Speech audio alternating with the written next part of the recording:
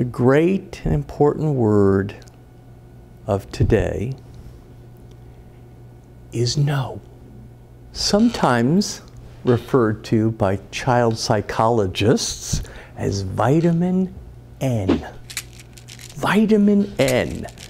Now, why is this word so important? First of all, the world will say no to you many, many, many, many, many, many, many, many more times than it will say yes. Why is that?